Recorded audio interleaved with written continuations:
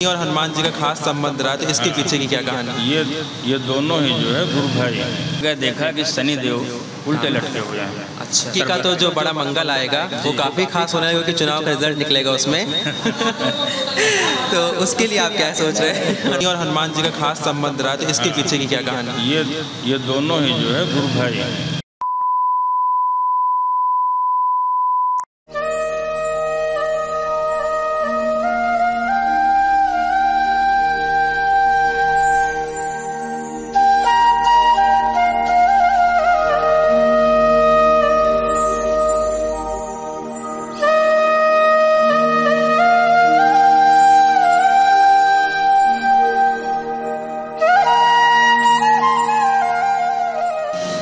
तो हेलो दोस्तों, नमस्कार, जय श्री राम, स्वागत है आप लोग हमारे चैनल पर और आज हम एक नई वीडियो में लेके आए हैं। जैसा है कि आप सब लोगों ने सुना होगा सर्व ग्रह दोष विनाशक हनुमान जी के बारे में और बहुत से लोग उनकी पूजा भी करते हैं। आइए उनके पीछे का महत्व जानते हैं और क्या है रहस्य और कुछ मंत्र वगैरह और कुछ कहानियाँ। ये सब पंडित से जानेंगे, आप ज़्यादा समय नहीं लेते हैं। पंडित जी बहुत बहुत स्वागत है आपका हमारे चैनल पर पहले आप हमको हनुमान जी बारे में थोड़ी महिमा बता दीजिए। मैं पुजारी उमेश दुबे, श्री ठाकुर द्वारा मंदिर।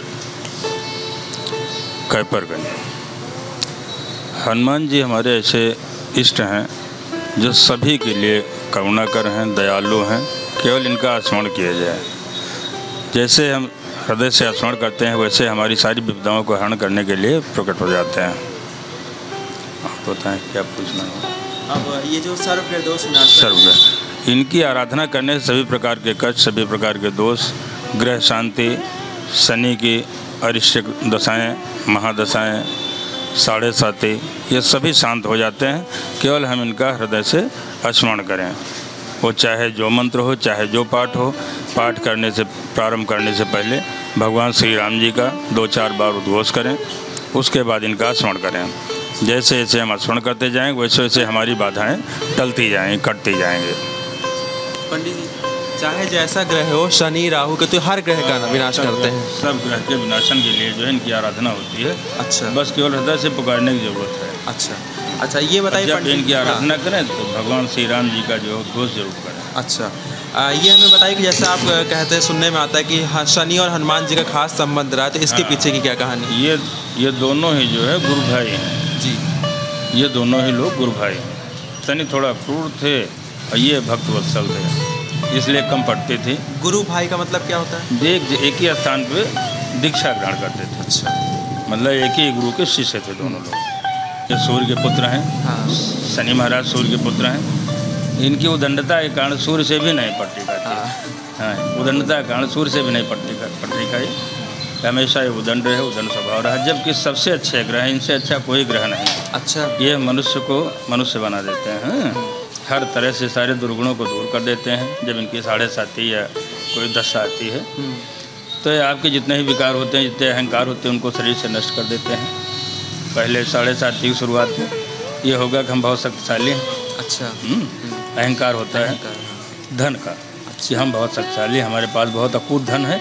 हम जो चाहें उस हासिल कर सकते कर सकते हैं। तो पहले इनकी निगाह उनके धन पे पड़ती है। तो धन से थोड़ा कमज़ोर कर दो।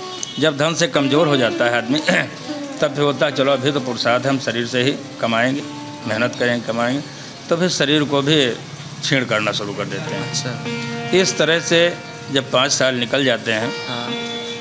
तब आदमी नर्वस हो जाता है मनुष्य नर्वस हो जाता है और उस समय होता है कि भगवान तुम्हें बचाओ। अच्छा। ईश्वर की भगवान भगवान की शरण में जाता है।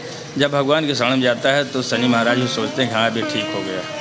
अब ये जो है अच्छे मार्ग चलेगा अच्छे कार्य करेगा। तो फिर जो भी इन्होंने नष्ट किया है पाँच सालों में वो ढाई साल में वापस कर देते हैं। अच्छा। तो जैसा कि अभी बात चली हुई है शनिदेव और हनुमान जी की तो आइए जानते हैं शनिदेव और हनुमान जी की कहानी जो कि रामायण में बहुत इंटरेस्टिंग फ़ेज़ में आती है। तो पंडित जी वो कहानी क्या है? भगवान श्री राम जी वनवासोपरांत जब लंका पर चढ़ाई किए। जी।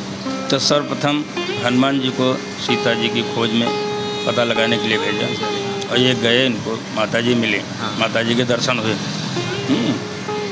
पुनः क्षुधा मिटाने के लिए आज्ञा लेकर माता जी से आज्ञा लेकर के इन्होंने अपना जो है फल खाना शुरू किया।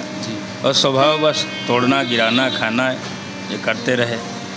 जब लंका में दर, राज दरबार में खबर पहुँची हाँ। तो वहाँ से मेघनाथ आए तो इनको बंदी बना ले गए।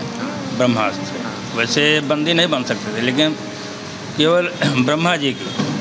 कि हाँ उसमें। प्रतिष्ठा बचाने के लिए स्वयं अपने आप को सौंप दिया और वहाँ पहुँचे। वहाँ पर जाकर इन्होंने लंका को भस्म किया।